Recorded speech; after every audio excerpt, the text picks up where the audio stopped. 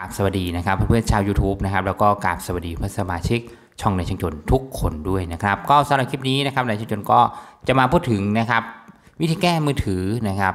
ระบบเสียงไม่ทำงานนะครับ เสียงหายนะครับเสียงไม่ได้ยินเสียงไม่ดัง หรือระบบเสียงของเรามันถูกปิดไปนั่นเองนะครับสำหรับอาการนี้นะครับในช่างจนพูดถึง เครื่องมือถือที่ใช้งานปกตินะครับ ไม่ใช่ว่าเครื่องที่อาจมีการตกแรงนะครับ หรือ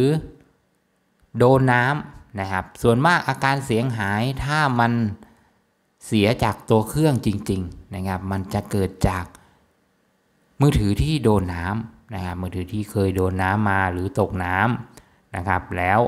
เสียงมันช็อตระบบเสียงมันช็อตแล้วก็มือถือที่หล่นแรง นั่นเองนะครับจะเจอปัญหานี้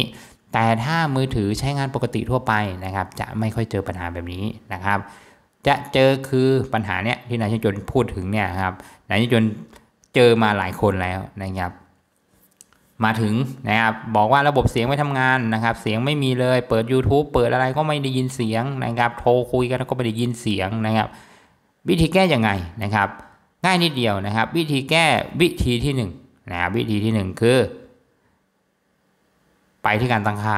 นะครับ ไปที่การตั้งค่านะครับ พอเข้ามาที่การตั้งค่าเสร็จปุ๊บมานี่เลยนะครับ คิดอะไรไม่ออกนะครับ หายังไงไม่เจอมาตรงนี้ มาที่คำว่านะครับรีเซ็ตนะครับ หาคำว่ารีเซ็ตนะครับอ่าของบางคนจะไปที่จัดการทั่วไปนะครับ ประมาณนี้แล้วมารีเซ็ตตรงนี้นะครับ ให้รีเซ็ตการตั้งค่าทั้งหมดนะครับบรรทัดที่1นะครับห้ามรีเซ็ตการตั้งค่าโรงงานนะครับ การรีเซ็ตการตั้งค่าโรงงาน จะล้างข้อมูลของเราทุกอย่างนะครับ เราไม่จำเป็นต้องรีเซ็ตค่าโรงงานนะครับรีเซ็ตการตั้งค่าทั้งหมดตรงนี้นะครับ แล้วกดตั้งค่าใหม่นะครับ ถ้าเรารีเซ็ตการตั้งค่าทั้งหมดตรงนี้นะครับ ถ้าเราไปกดผิดกดพลาดหรือระบบปิดเสียงหรือระบบเสียงมันปิดตัวของมันเอง นะครับ หรือเราอาจจะไปกดผิดก็ได้นะครับ แต่เราหาไม่เจอนะครับ มาที่ตรงนี้รีเซ็ตการตั้งค่าทั้งหมดนะครับ แล้วก็กดการตั้งค่าใหม่ตรงนี้ มันก็จะรีนะครับ ทุกอย่างที่เราตั้งค่าผิดผิดเพี้ยนไปนะครับ ให้กลับคืนมาระบบเสียงของเราก็จะใช้งานได้นั่นเองนะครับ แต่การรีเซ็ตการตั้งค่าใหม่ตรงนี้นะครับหนึ่งเลย การล็อกอินต่างๆนะครับ จะถูกรีเซ็ตนะครับ อย่างเช่น รหัสล็อกหน้าจอนะครับ และก็ การเข้ารหัส Wi-Fi นะครับ เราต้องล็อกอินใหม่นั่นเองนะครับทางง่ายตรงนี้แต่เราต้องล็อกอินรหัส Wi-Fi แล้วก็ล็อกหน้าจอใหม่นะครับ แต่ ถ้าเราจะไปหาจริงๆนะครับ ให้เพื่อนๆมาที่ตรงนี้นะครับ มาที่การตั้งค่าใช่ไหมครับปุ๊บเสร็จปุ๊บมาที่อ่าไม่ใช่มาที่ระบบเสียงและสั่นนะครับ ตรงนี้ยังไงก็ปรับไม่ขึ้นนะครับ ไม่ดังแน่นอนนะครับ มาที่การช่วยเหลือการเข้าถึงตรงนี้นะครับ จะเป็นรูปคนกลางแขนตรงนี้นะครับ กดเข้าไป แล้วเพื่อนๆนะครับ มาที่คำว่าตัวช่วยการได้ยิน อ่าตัวช่วยสำหรับการได้ยินตรงนี้นะครับ มาที่ตรงนี้เลยนะครับ กดเข้าไป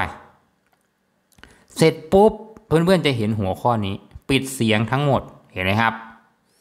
บางทีมันเปิดแบบออโต้เอง หรือบางทีเราอาจจะไปกดอะไรให้มันเปิดนะครับ โดยที่เราไม่รู้ตัวนะครับ เมื่อเราเปิดตรงนี้ เปิดเมนูนี้เมื่อไหร่ ระบบเสียงในตัวเครื่องของเราจะไม่ทำงานทั้งสิ้นนะครับ พอตัวนี้เปิดเมื่อไหร่นะครับ การเข้ามาถึงเมนูนี้มันก็ยาก บางรุ่นอาจจะเข้ามาไม่เหมือนกันนะครับ ถ้าเราหาไม่เจอจริง ๆ ให้เราไปรีเซ็ตเหมือนที่นายช่างจนบอกข้างต้นนะครับ แล้วเราก็จำเป็นต้องล็อกอินรหัส Wi-Fi ใหม่ แล้วก็หน้าจอใหม่นะครับ แต่ถ้าใครเข้ามาตรงนี้ แล้วเจอก็ไม่ต้องเข้าไปตรงนั้นนะครับ เราแค่มาปิดตรงนี้นะครับ ปิด ยกสวิตช์ตรงนี้นะครับนี่นะครับโยกสวิตช์ปิดมันนะครับ การปิดระบบเสียงก็จะปิดการทำงานลงนะครับ แล้วเสียงของเราก็จะกลับมาใช้งานได้เช่นเดิมนั่นเองนะครับ ก็ถ้าใครที่เป็นปัญหาเรื่องระบบเสียงใช้ไม่ได้ ระบบเสียงไม่ทำงานลองดูคลิปนี้ของนายช่างจนนะครับ ถ้าไม่หายจริงๆนะครับ แสดงว่าตัวเครื่องของเรามีปัญหานะครับจำเป็นต้องซ่อมนะครับ การซ่อมนั้นต้องแยกกันไปว่าเสียงตรงไหนนะครับ เสียงเรียกเข้าไม่ได้ยินก็เปลี่ยนกระดิ่งไปนะครับ เสียงแนบหูหรือเสียงสนทนาไม่ได้ยินก็อาจจะเปลี่ยนลำโพงแนบหูนะครับ หรืออาจจะเปลี่ยนไมโครโฟนนะครับสำหรับใครที่เราพูดไปทาง อีกทางหนึ่งไม่ได้ยินนะครับ ก็ต้องแยกเป็นส่วนๆไป